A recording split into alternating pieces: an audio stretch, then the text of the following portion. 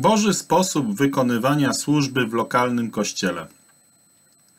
Zdając sobie sprawę z tego, że dopiero co mieliśmy przywilej przedstawiać prawdę Słowa Bożego, która jest w tak niewielkim stopniu znana, lub nawet jeśli znana, to na ogół traktowana z przymrużeniem oka, prawdę, która jest dokładnym przeciwieństwem tego, czego się naucza, praktykuje i w dużej mierze akceptuje jako słuszne w chrześcijaństwie, chciałbym rozszerzyć nieco ten temat celem udzielenia pomocy każdemu, kto chce studiować Słowo Boże z użyciem tych właśnie wskazówek, jakie tutaj ze Słowa Bożego próbujemy wyodrębnić.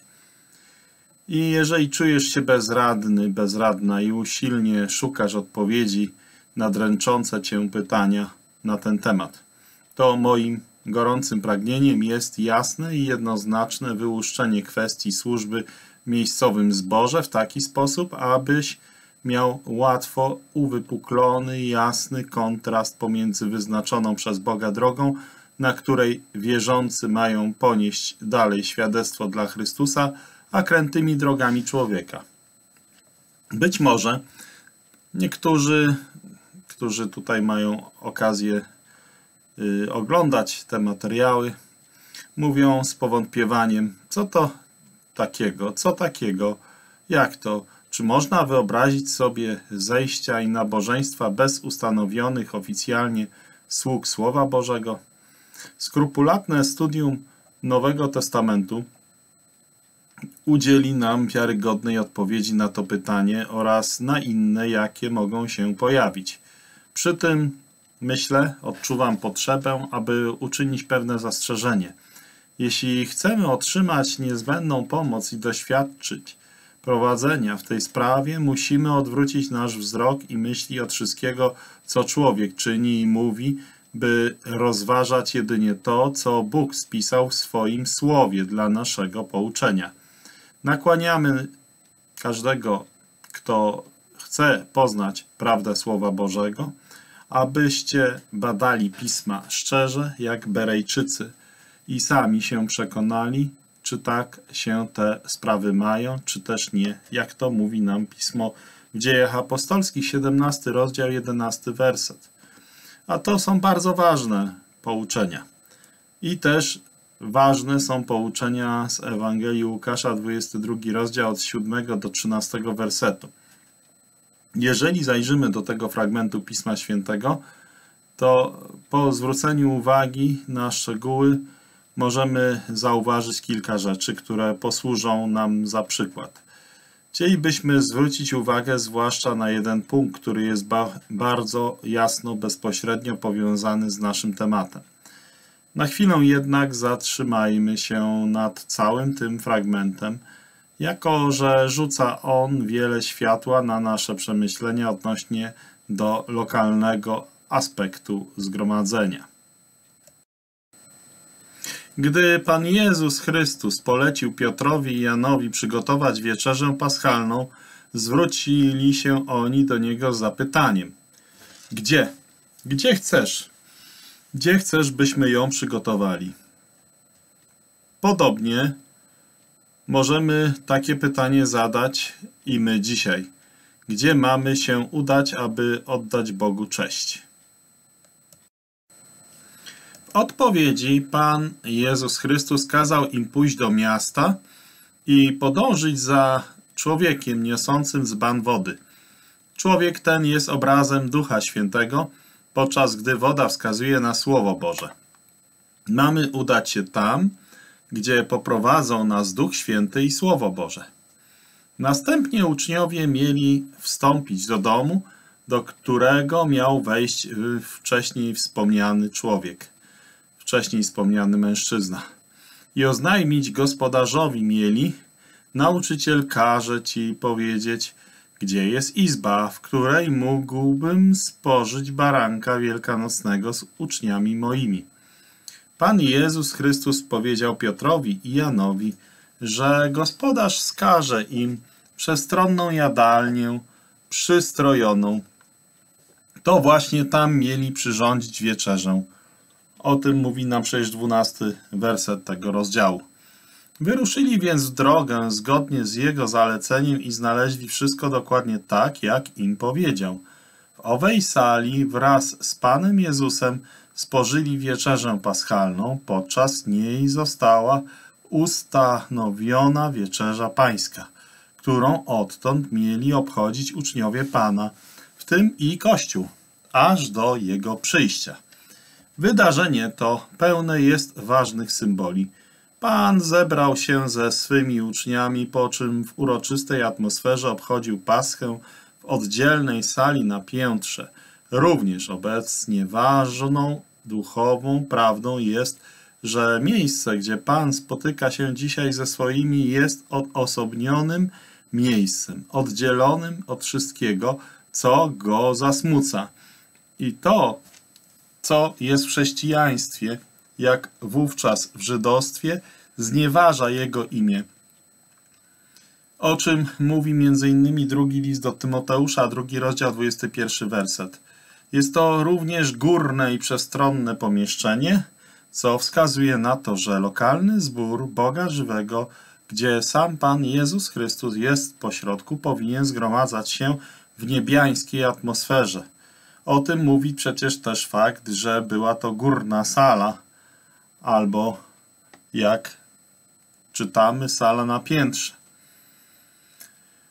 I jako członki ciała Chrystusa o szerokich sercach, które dają miejsce wszystkim członkom ciała pragnącym zejść się jako takie we wszelkiej szczerości, czystości i prawdzie. Kiedy więc chrześcijanie zgromadzają się prostej zależności od Pana wokół Niego jako ich centrum i przywódcy, On sam troszczy się o wszystko, czego potrzebują, aby byli w stanie nieść dalej świadectwo dla Jego imienia. Ten, który jest pośrodku, jest przecież głową Kościoła i tym samym, który udzielił darów ludziom i dary w ludziach do wykonywania dzieła posługiwania, co już wcześniej mieliśmy okazję oglądać w Słowie Bożym. On sam przedstawia się zborowi w Filadelfii jako ten, który ma klucze Dawida, zamyka nimi i otwiera. Ma również klucze do skarbów i magazynów bożych i dlatego jest w stanie obficie zaopatrzyć swój lud, który polega na nim w prostej wierze. Chrystus jest tym, który zaopatruje.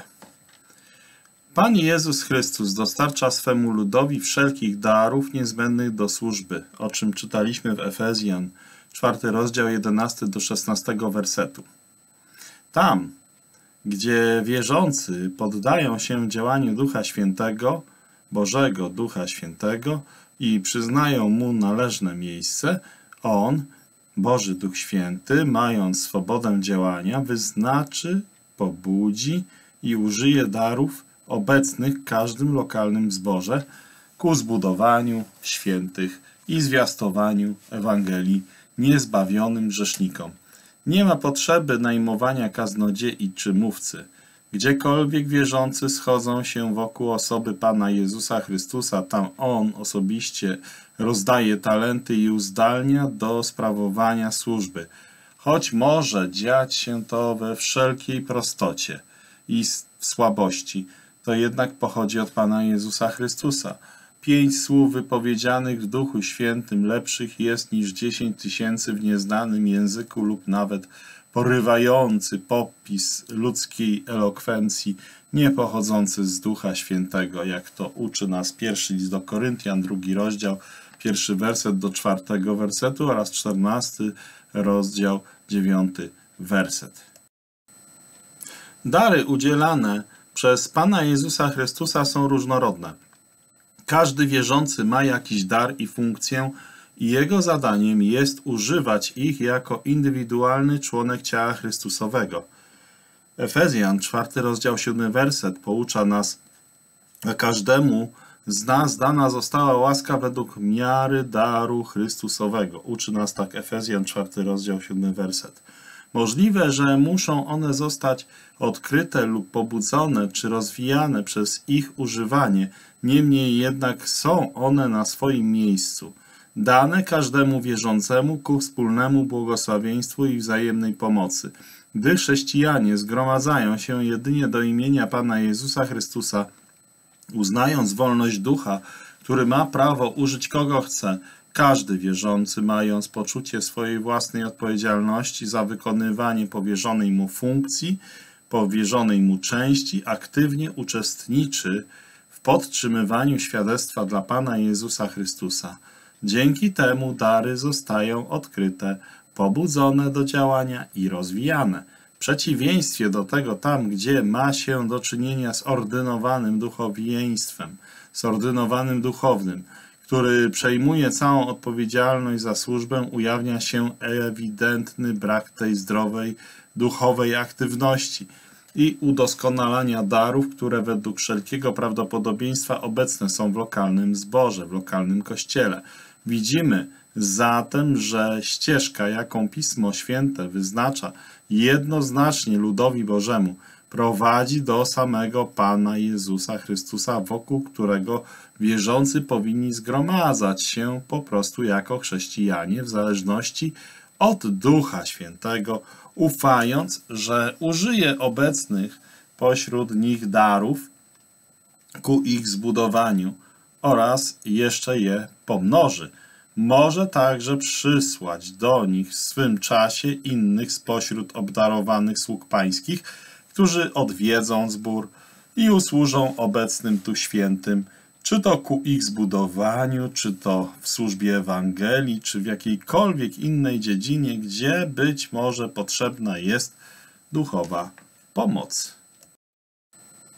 Skoro wierzymy, że Pan Jezus Chrystus karmi i pielęgnuje swój Kościół i jako Jego głowa i oblubieniec zaopatrzy każdy lokalny zbór we wszystko, czego potrzebuje, o ile widzi, że to na nim polegają wierzący i ku niemu spoglądają w oczekiwaniu pomocy, myśl ta przeplata się przez całe Pismo Święte i wielu wierzących doświadczyło jej prawdziwości. Tak było w przypadku pierwszych zborów i chrześcijanie schodzili się we wszelkiej prostocie jako wierzący, budując się nawzajem w wierze i przyjmując z wielką radością sługi pańskie, jakich On posyłał im ku pokrzepieniu. I myślę, że każdy z nas, aby ten temat sobie pogłębić, powinien uważnie przeczytać dzieje apostolskie oraz listy i zastanowić się, czy nie jest tak rzeczywiście, jak właśnie mówimy.